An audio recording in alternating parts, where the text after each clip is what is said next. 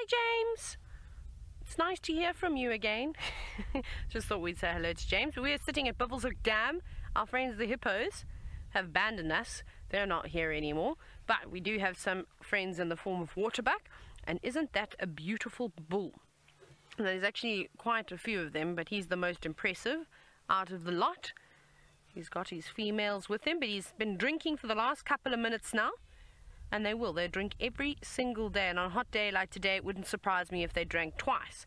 But look at the size of those horns. That would be a fantastic meal for the Nkuhuma lions. Look at that beautiful splay, nice and wide. That is an impressive looking bull. So he's right at the peak of his game now. He's looking nice and fit too, very muscly. So the females would also find him very attractive.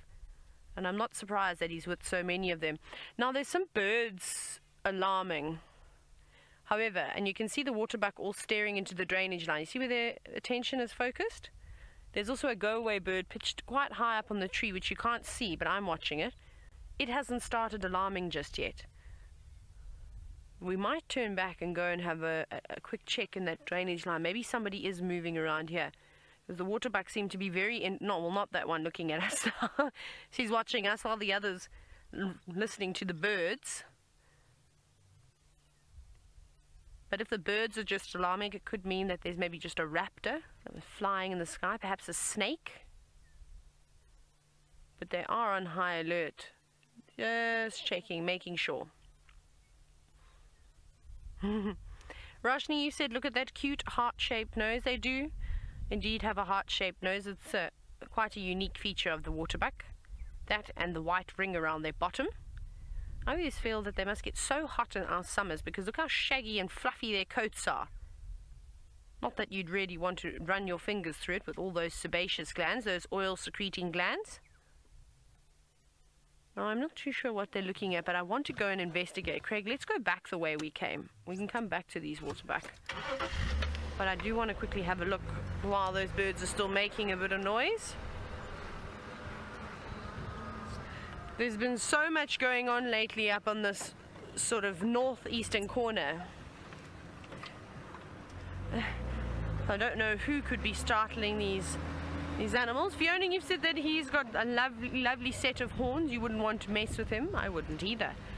Waterbuck can get quite aggressive, especially when the males fight. Most of the time, like bushbuck and gemsbok, one it'll end. Well, one of them will die. It'll end in a fatality. It just shows you how rough they are. Right. So these there were magpie shrikes and drongos shouting in here. So we'll just look very carefully. So unfortunately it's a very dense drainage line. Lots of Tamboti trees, lots of bush willows, lots of good normally likes it down in here. And uh, if you remember this morning we were driving about and we had francolins alarming. And I first thought that there could have been the lions but then we had the lion tracks crossing out here. I didn't see any more tracks crossing in. Let's just go through this little dip one last time.